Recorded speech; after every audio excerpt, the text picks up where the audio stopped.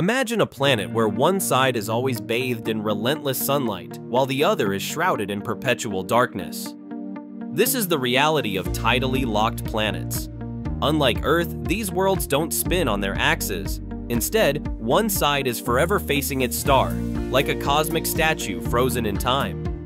On the day side, temperatures can soar high enough to melt metal, creating a blistering landscape. Meanwhile, the nightside plunges into a chilling abyss colder than Antarctica.